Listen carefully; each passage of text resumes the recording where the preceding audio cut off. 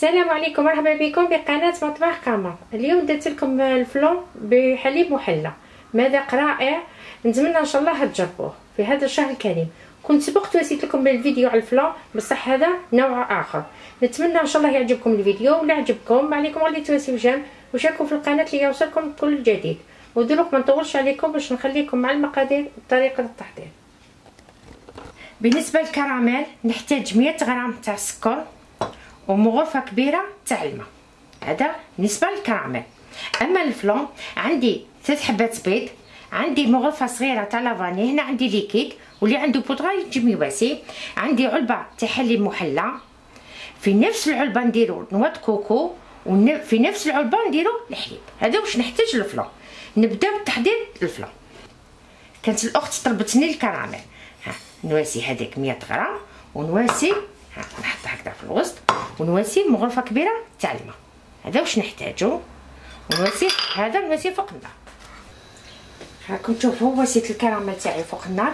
وهاد الكراميل تحبوا ينجح لكم وما يقصحش واش تواسيوه ما تحركوش هو التحريك هو اللي يسكر لكم الكراميل تاعكم. بصح ما تمسوش وما تحركوش خليوه هكذا. في الآخر حتى نشوف الكراميل تاعي داب لي باش نحركو باش كاش السكر هكذا ما دابش يذوب لي مع هذاك التحريك هذا ما كان. دوك نخليه هكذا حتى نشوفو داب لي ما نحركوش.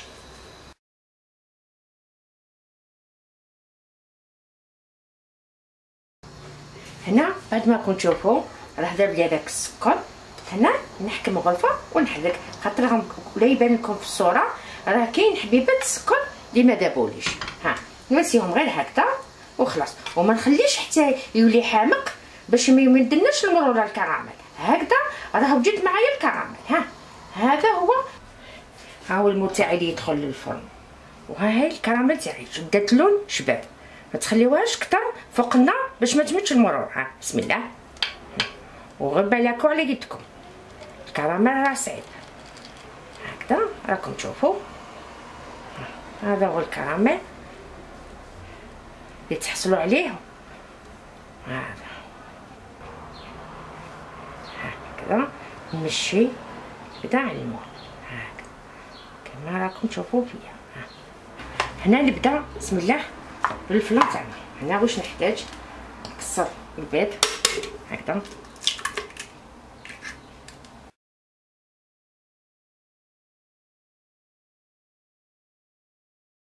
هنا واسي ثلاث حبات بيض نواسي هذيك حليب محلى هكذا. نسلي كما حنا نقولوا له. ها؟ نواسي في نفس العلبة تاع اللي واسيت الحليب محلى. نواسي نواه كوكو. نعبرها.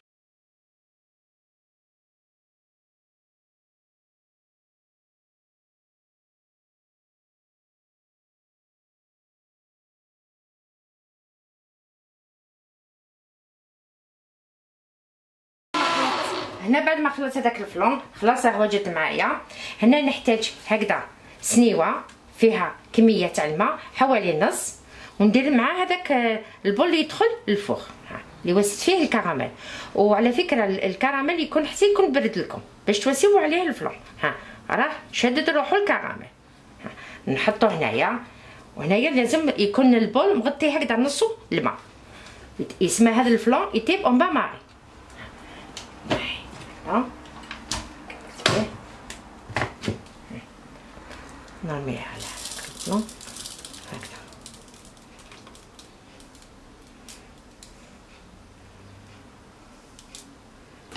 هنا بعد ما كبيت ال flan تاعي وسيتو au bain-marie ال four راه شاعل 180 درجة حتى نشوفو نشف ودخلو الموس.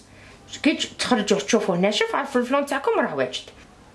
بعد ما طاب معايا ال flan شد لي 35 دقيقة في ال four وبعد ما تأكدت لي طاب لي دخلت له الموس حتى خرج لي ناشف.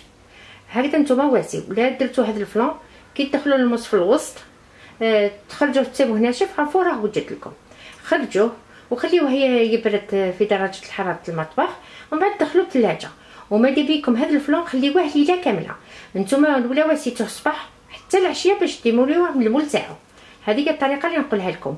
والطريقة واحدة أخرى قبل ما تيسيو تقلبوه بطبسي واحد آخر آه، في حكموا هكذاك بولي وسيتهم bain-marie هذاك سنيوة. حكموها وسيو فيها ما دافي ماشي مسخون ما دافي وخلي واحد خمس دقائق في هذاك ال moule. يكون فيه هذاك ال flan داخل. باش هذاك الكراميل كي نقلبوه يحبط كامل. كيما راكم تشاهدوا.